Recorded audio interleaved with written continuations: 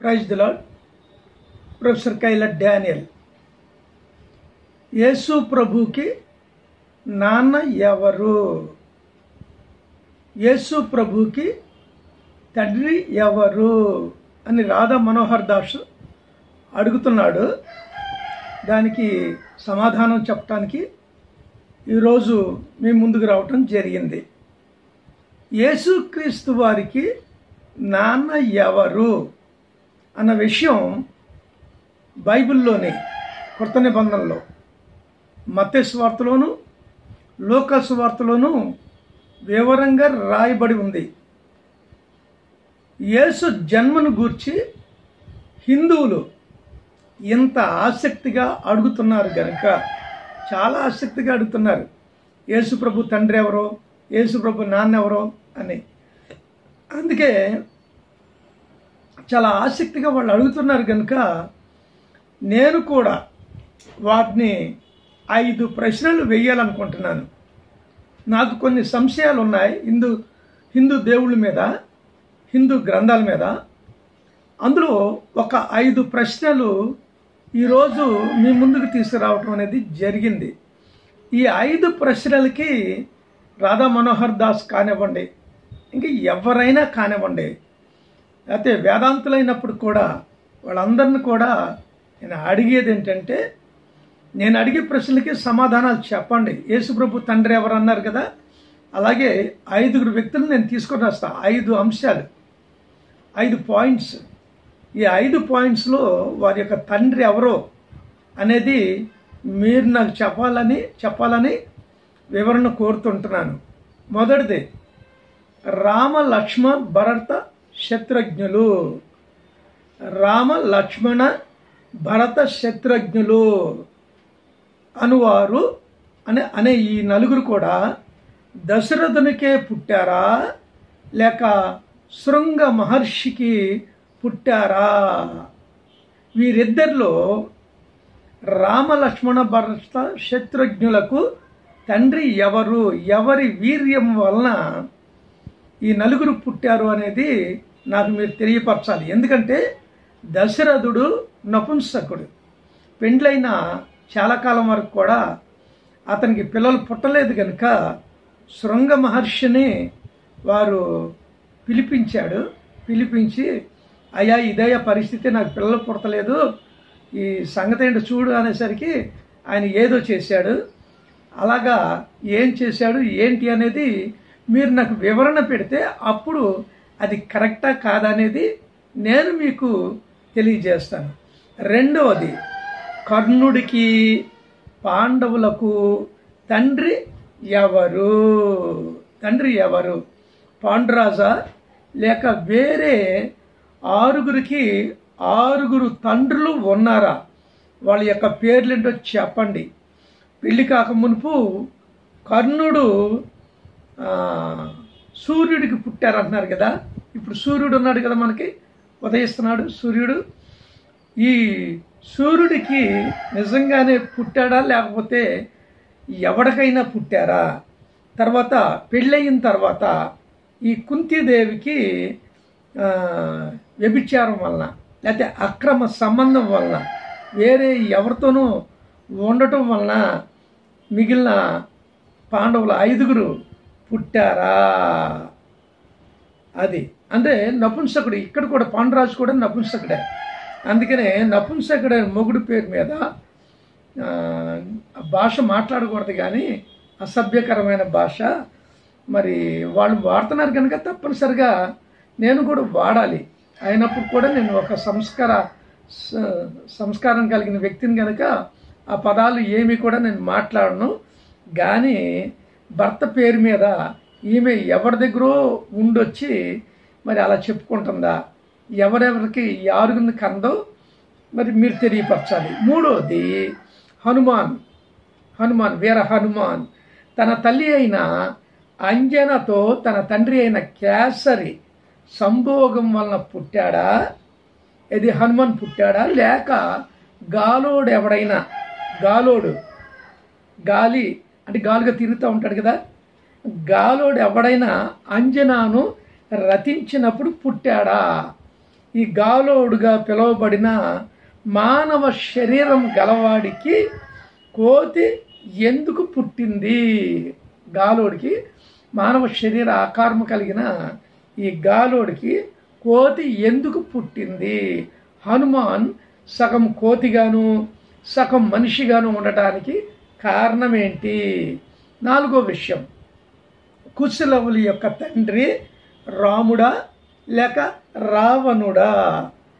ఈ ఇద్దరిలో ఎవరు అనేది నాకు మీరు తెలియపరచాలి. ఎందుకంటే రెండు సంవత్సరాలు సీతమ్మ వారు లంకలో ఉన్నందువల్ల రావణుడు ఆమెను ఏమీ చేయలేదంటే నేను నమ్మాలా అని చెప్పి సీతమ్మ వారిని అగ్ని పరీక్షకు పెట్టడం గర్భవతి అయిన సీతమ్మ వారిని అడవికి పంపడం ఈ గందరగోళం అంట ఏంటి అనేది చెప్పాలి.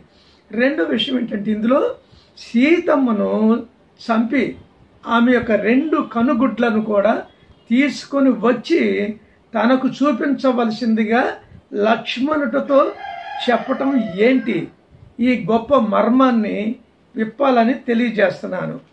ఐదవది ఐదో పాయింట్. పార్వతీదేవి నలుగు పిండితో వినాయకుణ్ణి చేసి ప్రాణం పోసిందా? లేక శివుడు పద్నాలుగు లోకాల పర్యటనకు వెళ్ళినప్పుడు నందీశ్వరుని వంటి వాడు ఎవడైనా ఎవరితోనైనా సరే ఆమె ఉండి వినాయకుడిని కన్నదా? వినాయకుడు కేవలము నలుగు పిండి నలుగు పిండితోనే చేయబడ్డాడా?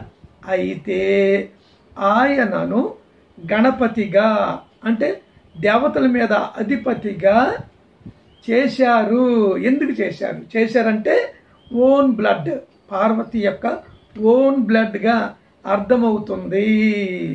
కన్న మమకారముతోనే ఈ అధికారాన్ని దేవతల మీద నాయకుడిగా ఈయన చేయటం అనేది కన్న మమకారంతోనే ఈ అధికారము ఇయ్యబడినది. మీకు రుజువు కావాలంటే డిఎన్ఏ మర్మం విప్పండి అని తెలియజేస్తున్నాను ఈ ఐదు పాయింట్లు. దేవతలకు భగవంతులకు భౌతిక శరీరములు ఉన్నందువలన శరీర కోరికలు కలిగి ఉండటం అనేది సహజం. శరీర కోరికలు దేవీ దేవతలను వేధిస్తూ ఉండడం వలన శివుడు ఋషుల భార్యలను లైంగిక వేధింపులకు లైంగికంగా వేధించడం జరిగింది. ఇదండి. శివుడు ఋషుల యొక్క భార్యలను లైంగికంగా ఎందుకు జి వేధించాడు అంటే దేవి దేవతలకి భౌతిక శరీరాలు ఉన్నాయి. ఆదిపరాశక్తి శరీరాన్ని ధరించుకొని ఇందులోనే రెండు పాయింట్. ఆదిపరాశక్తి శరీరాన్ని ధరించుకొని రేణుకాదేవిగా పుట్టిందా? జమదగ్నిని పెండ్లి చేసుకొని అతనికి నలుగురు కొడుకులను కన్న తర్వాత కొంతకాలానికి గంధర్వులపై ఆమెకు మనస్సు వెళ్ళి మోహించి తిరిగి తాను ఈ జీవితాన్ని చాలించి గంధర్వ లోకానికి వెళ్ళిపోవడం ఇదంతా ఏంటి? రాధా రాధా మనోహర్ దాస్ నీకే పెట్టాను ఇది చెప్పాలి నువ్వు నాకు.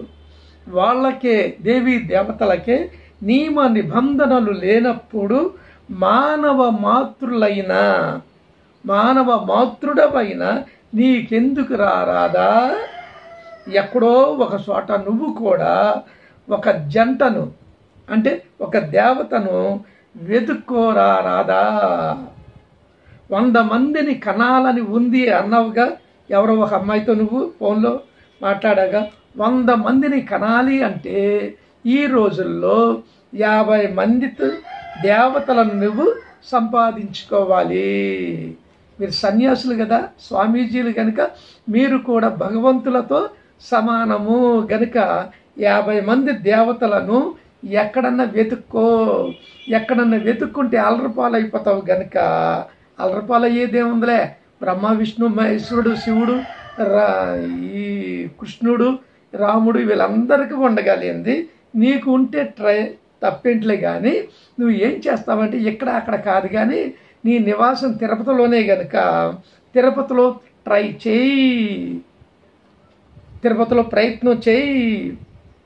బా బాబా అవతారం ఎత్తు బాబా అవతారం ఎత్తి ఒక ఆశ్రమం ఒకటి పెట్టుకో. అక్కడికి ఈ దేవతలందరూ వస్తూ పోతూ వస్తూ పోతూ మానవ దేవతలు. అర్థమైందిగా నీకు? ఆ మిగిలిన వాళ్ళకి అర్థం కాదు ఈ బర్రె బర్రెలు కదా అర్థం కాదు. నీకు అర్థం అవుద్ది నువ్వు తెల్ల బర్రెవి.